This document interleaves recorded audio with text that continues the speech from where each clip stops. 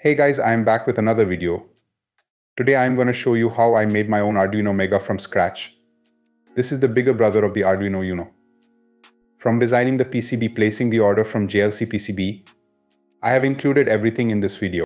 To give the board a professional touch, I gave the Type-C connectivity. Since this is the standard nowadays,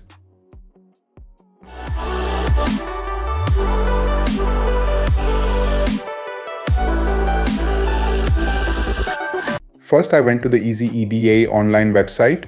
EasyEDA is a web-based PCB design and simulation tool ideal for hobbyists, engineers, and professionals. It provides an intuitive platform for creating schematics, designing multi-layer PCB, and running SPICE simulations to test circuit performance. Then I went with the designing of the PCB. The key component in the design was the Atmega 2560 IC. The 8-bit microcontroller was from Microchip Company, having the features as the IC is a low-power 8-bit microcontroller. Also comes in the category of advanced RISC architecture. This chip works on 16 MHz clock frequency, having a 4 kilobytes of EEPROM and 8 kilobytes of internal static random access memory. The peripheral features of the board includes two 8-bit counters with separate prescaler and compare mode. The IC also have master or slave SPI serial interface and also comes with on-chip analog comparator, along with interrupt and wake up on the pin serial change when heading down with the pin configurations. Here we use the TQFP package.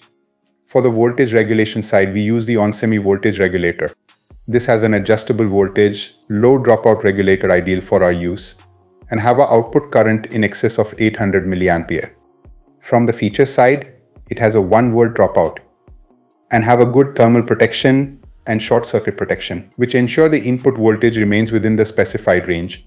The rest of the datasheet provides other details of the regulator including maximum ratings, internal design structures, and different figures with dropout voltage versus load current. The female DC jack is used to take the input voltage, and a voltage selectable switch.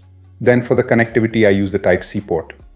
For programming the chip, I use the CP2102 USB to UART bridge controller, which was developed by Silicon Labs. The IC is available in 5x5mm and here we use the QFN28 package. For extending the general purpose input-output pins, here we use some female header pins. By placing all the components in the specified places, which enables minimal track length, I completed the design process. The Atmega 2560 is placed on the center of the PCB design, along with the DC jack and Type-C port at the edges.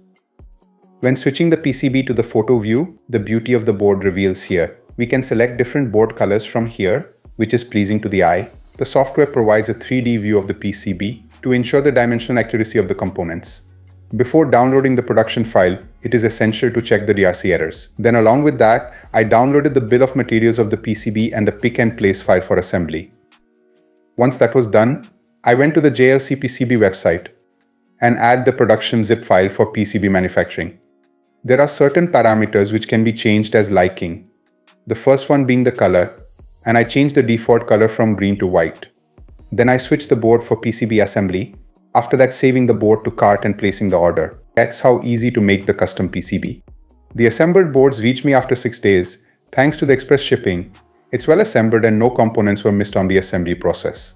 The silk screen on the PCB was really nice. For the white PCB they gave the silk screen text with black ink, which adds up an extra royal touch. When comparing with the commercial Arduino clone, the main head start was changing the typical USB-B connection to Type-C which raises standards while using the same footprint as the readily available Mega. All shields will be compatible for this board also, along with an extended dual row of GPIO pins.